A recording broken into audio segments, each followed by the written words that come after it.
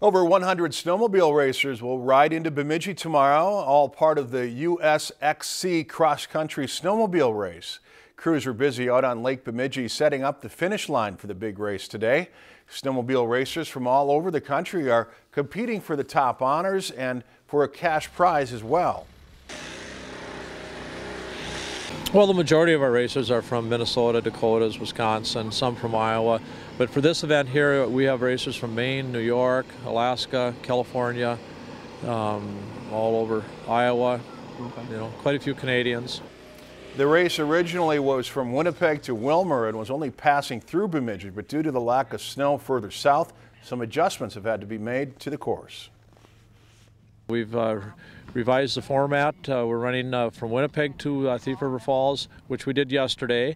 Today we're running a 195 mile loop in the Thief River Falls area, and tomorrow we run from the casino in Thief River into Bemidji here, which the route will be about 125 miles. The race wraps up tomorrow on Lake Bemidji behind the Country and Suites. The last stretch of the race is from Thief River Falls to Bemidji, like I just said. Racers are expected to cross the finish uh, line as early as 11 tomorrow morning. We'll bring you some of that tomorrow night on Lakeland News.